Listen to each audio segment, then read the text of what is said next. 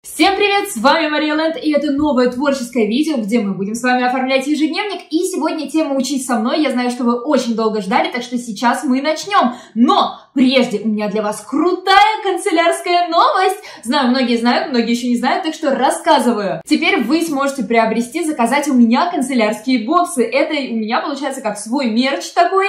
Да, потому что я занимаюсь очень долго уже канцелярией, обожаю ее, всякие блокноты, ежедневники, ручки, стикеры, наклейки. В общем, все вот это вот мимимишное, очень крутое, да. И поскольку я блогер, канцелярский блогер, э, то есть творческий, я точно знаю, что нужно положить в бокс, чтобы вам понравилось, чтобы это было очень мило, кавайно и пригодилось реально в оформлении ежедневника. Так что, пожалуйста, все, кто хочет заказать у меня бокс мой канцелярский, это можно сделать у меня в инстаграме, вот так я там называюсь. И еще ссылочка на инстаграм будет внизу в описании под видео. Вот, пожалуйста, и как раз сейчас я вам показываю, как я собираю ваши заказы. Это на самом деле очень-очень здорово. Так что, кто еще не заказал и хочет канцелярию от меня, пожалуйста, пишите в инстаграме, мне в директ. А, вот. И в тиктоке я показываю как раз процесс сборки, то есть как я вам собираю заказы, вообще, что у меня в наличии новенького появилось, потому что ассортимент у меня постоянно меняется, да. А, вот. И ссылочка на тикток, если что, будет тоже внизу в описании. Вот. Ну а мы начинаем. Итак, в этот раз я расскажу и покажу вам, как же запомнить любой материал очень быстро и круто в учебе и в работе. Я думаю, что это будет очень полезно. Вы меня просили сделать страницу в ежедневнике касаемо изучения языков, в данном случае английский. Вы можете писать свой язык, который вы изучаете и никак не можете, или, а, допустим, а, находите в процессе изучения. Здесь я написала как раз а, существительные наречия, наречия и приложения прилагательные а, слова, которые я как раз изучаю. И, в принципе, весь конспект я буду иллюстрировать с помощью табличек, потому что мне так намного проще запоминать материал. Вы тоже можете попробовать, а вдруг эта система тоже вам будет удобна. А, я специально написала что относится э, к словам как, как раз к to be. Да, кто изучает английский, наверняка поймет эту схемку. И выделяю я э, зеленым и красным слова, чтобы это было легко для запоминания и сразу бросалось в глаза.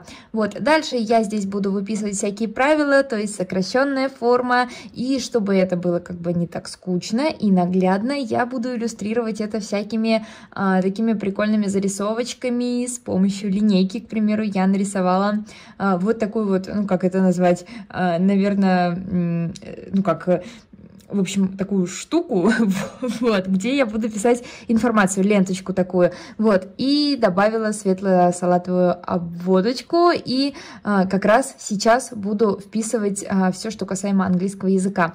Вот, вы, как я уже сказала ранее, можете писать то, что вы хотите, изучаете. А, главная наша задача здесь это добавить всякие узоры, орнаменты, которые будут очень легко смотреться в конспектах, не перегружая их, и помогут помогут нам запоминать с вами материал. Примеру, рисуем такой квадрат, добавляем пару черточек, и все, это у нас получается как бы квадратик пришит к страничке. По-моему, это очень-очень здорово. Вот, ну и туда мы вписываем уже нужную нам информацию. Как я уже сказала, я специально выделяю это красной и зеленой ручкой. Так информация намного нагляднее и лучше запоминается нами. Можете попробовать тоже так ярко вести свои конспекты. А здесь я ищу как раз трафарет, который мне понадобится для оформления следующей страницы, потому что здесь я как раз напишу и заодно расскажу вам, как же запомнить материал очень легко. Э, это, я думаю, будет полезно вообще каждому, потому что всегда мы чему-то учимся, изучаем что-то. Здесь я нарисовала прямую линию, и от нее листья. Это как бы поздняя осень у нас, да, очень поздняя, поэтому красные листочки. Подумала, что сюда это будет в тему. Обожаю конспекты э, как-то разноображивать вот такими вот зарисовочками. Итак, если вы хотите запомнить быстро, бывает такое, что информацию нам нужно проанализировать и запомнить очень-очень быстро. Но это не значит, что навсегда, да? Вот, э, эти кружочки будут как раз шаги обозначать, что мне нужно сделать, чтобы это запомнить. Итак, эта система говорит о том, что первое повторение должно быть, конечно же, сразу после изучения вами материала. Дальше второй раз нужно это будет повторить материал через 20 минут. А, третье повторение там уже идет а, по-другому, то есть после того, как вы изучили материал, через а, определенное количество времени, то есть уже через 6 часов это повторить нужно, чтобы мы это как бы запомнили. И четвертое повторение уже через один день. Тогда говорят, что вы и мы с вами информацию запомним очень быстро. Если нам нужно запомнить какую-то информацию надолго, тут будет уже 5 этапов, как же мы будем это запоминать. Кстати, если кто-то работал по этой методике, можете написать в комментариях, рабочая ли эта схема или нет, потому что мне тоже очень интересно, будем с вами пробовать. Здесь я как раз пишу уже сразу 4 э, а, этапа, то есть, конечно, это повторение идет после того, как мы выучили уже материал. Сначала первое повторение у нас после обучения самого материала, я думаю, это понятно и логично. Второе повторение, там уже через 30 минут после обучения. Третье повторение через один день после того, как мы выучили материал. Четвертое повторение уже через 3 недели только, обратите внимание. И пятое повторение заключительное через 3 месяца после обучения. Можете написать, как вам вообще кажется рабочая схема вот такая вот по запоминанию материала или не очень. Ну, будем пробовать, как говорится. Так, ну и что, переходим дальше к оформлению. Кстати, эти стикеры из моего бокса тоже, да, потому что, как я уже говорила, обожаю всякую милую канцелярию, и в свои боксы я как раз собираю только крутую вот такую вот канцелярию, так что вот, пожалуйста, заказывайте, кто хотел приобрести у меня боксы. Так, добавляю пунктир, потому что так мне больше нравится, как выглядит э, наклейка, она как бы вписана в разворот. Здесь на правой стороне у меня будут цели. Цели конкретно по учебе, цели конкретно по обучению английского, изучения этого языка, ну и еще несколько таких э, штук, которые мне нужно запомнить, сделать когда мы выписываем в цели, это как-то проще запоминается, и хочется, знаете, отметить галочки рядом, поставить, что мы молодцы, мы это сделали, такой трекер получается.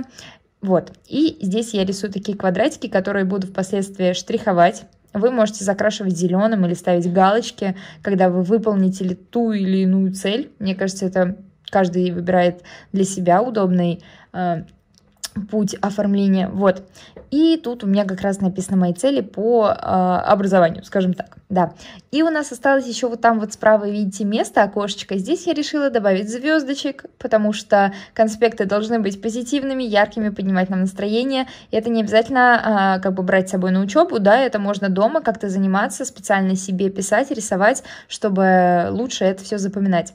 Ну и в заключение я записываю такую мотивацию э, или материал, который у меня как раз нужно было записать по поводу английского, объясняю себе, что мне нужно это учить, в общем, мотивирую себя как могу, и потом можно это все перечитывать, и будет очень здорово, позитивно и классно. Напишите в комментариях, был ли полезен вам такой вот разворот, и о чем хотите следующее, я почитаю.